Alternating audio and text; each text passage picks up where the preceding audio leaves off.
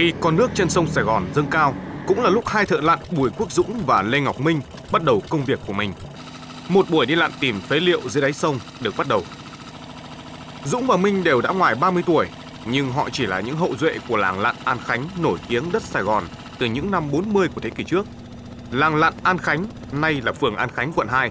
Chiếc ghe dọc theo con sông Sài Gòn đưa chúng tôi đến bãi mỏ. Hôm nay Dũng và Minh sẽ thả neo ở khúc sông gần xưởng sửa chữa tàu Ba Son. Ngày trước, nơi này là mỏ bạc cát của giới thợ lặn. Hàng tấn bạc cát cổ đã được các thợ lặn vớt lên, vì thế nhiều người đã đổi đời từ đó. Dụng cụ của thợ lặn ngày nay cũng không khác xưa là mấy. Vẫn là một chiếc máy nổ nối với một bình hơi oxy, rồi oxy sẽ được truyền ra ống nhựa cho thợ lặn ngậm vào để thở dưới nước. Dũng xuống lặn, mình ở trên ghe canh cho ống thở không bị gãy gập và điều tiết độ dài ngắn của chiếc ống thở này. Cứ khoảng 10 phút, Dũng lại ngoi lên mặt nước một lần.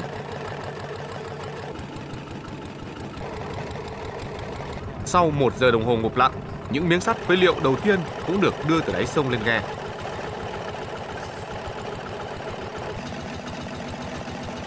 mình đu cái sợi dây mình thả xuống á mình đu dây nó xuống dưới à, đáy tới đáy thì mình nhắm mắt mình mò thôi. Chứ à, mình không mở mắt được. Con nước nó nó chảy mình đi theo con nước. Mình bám theo cái tại vì sợi dây mình có cục sắt á mình nắm theo cục sắt để mình mò mình ba giờ tới giờ lui. Bò ra bò vô vậy đó. Đụng gì đụng đụng sắt thì mình lấy bỏ vào áo. Dũng vẫn tiếp tục công việc của mình dưới đáy sông. Chiếc ghe bằng gỗ như chiếc lá tranh vênh giữa mặt nước mênh mông. Mỗi khi có tàu lớn đi qua, chiếc ghe trao đảo như muốn hất người trên ghe xuống nước. Chính vì vậy mà nhiều ghe của thợ lặn đã lật úp trong khi làm nghề. Trong trường hợp đó, ống thở không còn hoạt động được. Người thợ lặn đang ở cách mặt nước vài chục mét phải ngoi lên thật nhanh, nếu không sẽ mất mạng. khi nhiều khi mình lặn vô ờ, chỗ gì có tàu chìm xà lan chìm thì trong thời gian mình lặn ở dưới á, thì mình nhắm mắt mình mò chứ mình không có thấy đường. Đó đôi khi bị ờ, xước ờ, ống dướng vô cái sắc bén á, đứt đứt ống hơi mình nắt hơi là mình phải trồi lên. Cái trường hợp mà người mới vào nghề á, lặn cái độ mà mười mấy hai chục thước thì không sao. Lặn cái độ mà ngoài 30 thước nó nguy hiểm. Tại cái độ đó mình xuống lẹ được nhưng mà mình lên lẹ không được. Thứ nhất cái thứ hai mình lên lẹ quá mình sẽ bị à, bong găng. Mình lên tới mặt nước mình có gió là mình sẽ bị bong găng. Và con người sẽ bị tê liệt đưa đi bệnh viện rồi phải kịp thời nếu không kịp thời có thể là bị liệt một là bị liệt hai là chết Nhận thấy khúc sông này ít phế liệu, Dũng và Minh tiếp tục đến đoạn sông gần cầu Thủ Thiêm với hy vọng mò được nhiều hơn. Nhưng họ đã không tìm được thấy gì suốt một buổi ngụp lặn ở đây. Chính vì nguồn phế liệu dưới đáy sông cạn kiệt khiến thu nhập bấp bênh nên hàng trăm thợ lặn ở làng lặn An Khánh ngày xưa đã phải bỏ nghề chỉ còn khoảng trên dưới chục người. Thời hoàng kim của nghề thợ lặn là hồi mới giải phóng.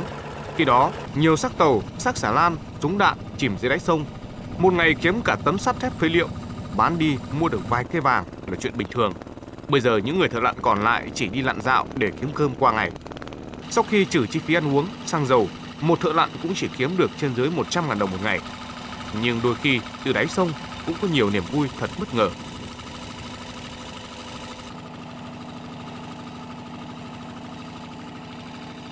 Thế đôi khi à, mình lặn vào nè anh hên mình đụng mấy cái à, chương dịch của xà lan vớt á thì bán cũng được à, một hai triệu bạc thì anh em đó cũng vui lắm Nghề lặn là thế, chủ yếu nhờ vào sự may mắn. Hôm nay, Dũng và Minh chỉ mò được 8 kg sắt phế liệu, bán với giá 6.000 đồng một kg. Một buổi lặn, hai người kiếm được 48.000 đồng, quả là ít ỏi so với công việc lành ít giữ nhiều này. Ông Phạm Văn Lượng, hay thường gọi là Út Tèo, là một trong những thợ lặn huyền thoại của làng lặn An Khánh trước đây. Út Tèo đã từ giã nghiệp lặn, hiện đang là trưởng ban bảo vệ dân phố của phường An Khánh. Trên đường đi, Út Tèo gặp người thợ lặn tên Phước mới đi mỏ phế liệu về. Vị tiền bối và người hậu sinh trò chuyện sôi nổi về kinh nghiệm làm nghề. Bàn tay của anh Phước bị thương nham nhở sau khi quở quạng suốt ngày dưới đáy sông. Ông Út Tèo cũng đã từng có cái lửa nghề như anh Phước bây giờ.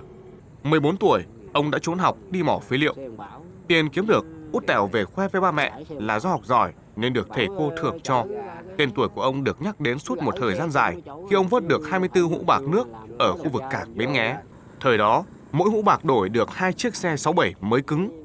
Làm nghề này, ông cũng không tránh khỏi những tai nạn. Hơn 20 năm trước, trong một lần đi lặn, Út Tèo tìm thấy một quả đạn, nhưng không may đạn phát nổ khiến ông bị thương nặng ở chân.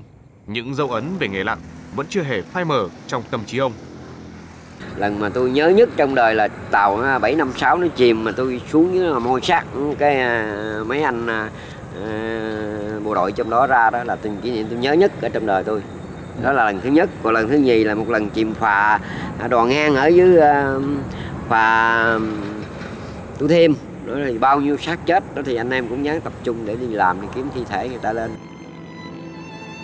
Làng lặng An Khánh ngày càng mai một do tốc độ đô thị hóa. Người dân phải chuyển đi nơi khác sinh sống để nhường đất lại cho các dự án bất động sản hiện đại. Làng lặn An Khánh sẽ đi vào dĩ vãng. Nhưng có lẽ với những người dân ở đây thì làng nghề với truyền thống hơn 70 năm mò tìm phế liệu sẽ không dễ phai mờ.